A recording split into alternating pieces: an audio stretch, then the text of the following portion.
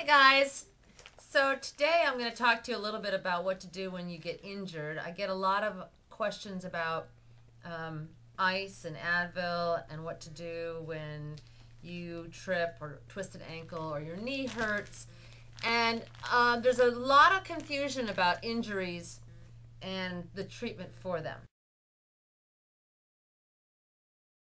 So heat is a great thing to do on a muscle that's been spasming, muscle that's been hurt. You want to use heat, moist heat. So um, there's a couple things you can do.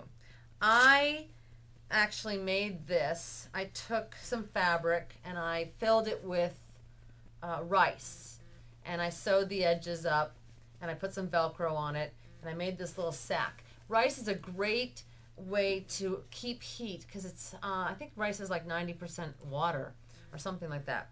So it, it heats up in the microwave very nicely. Got this hot pack, put it on the site, Velcro it closed, and yes, it's camouflage.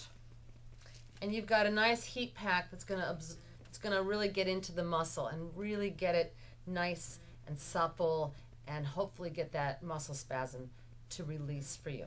The other thing you can do, and this is much easier, is to get a tube sock. Maybe your um, husband or your roommate or somebody has a long tube sock, an athletic sock.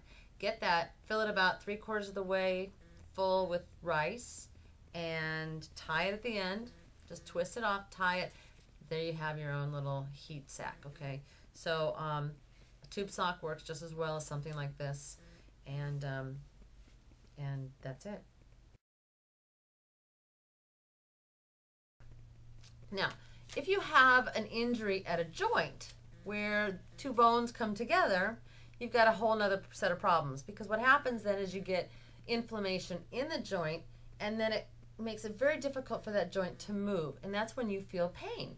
So the best thing you can do when you have that happen is ice and get the inflammation off the joint. Heat increases inflammation. Ice decreases inflammation.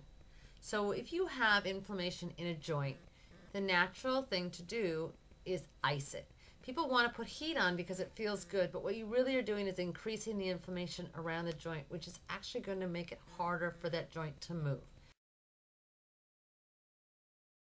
The old treatment called RICE, it's rest, ice, compression, elevation. So what I like to do is I have a couple ice packs, I'll show you. I got them from Terry Bechtel Physical Therapy, who I think is amazing. So we've got this big ice pack, and she sells these fantastic handy ice pack holders that have these Velcro straps to help hold it on. So I put my ice pack inside, like so. And you can use ice from your refrigerator, put it in a giant Ziploc baggie and stick it in a um, stick it in a pillowcase. Same thing. I just really like this because I like the Velcro, and this is a nice thin fabric and it's soft and it's easy. All right, so you want to ice it. I also have a narrow one, and this is great for the around the neck. It's great for around the shoulder, around the arm. But I like to put this on the back of my leg. So for me, I have a knee issue. As many of you know, I had surgery not too long ago on my meniscus. And so what I do after a workout, because it's inflamed and it hurts a little bit, is I stick this on the back of my knee and I Velcro it closed. So there's the compression. I raise my leg. There's the elevation. Put the ice pack, the big one on top, get the knee really cold and wrap those Velcro straps around so it holds it in place. Then I can walk around. If someone comes in the gym, I need to answer the phone or whatever, I can move around pretty freely. And now it's on. Can you see that? All right. I hope that was helpful. Have a great time and train safely.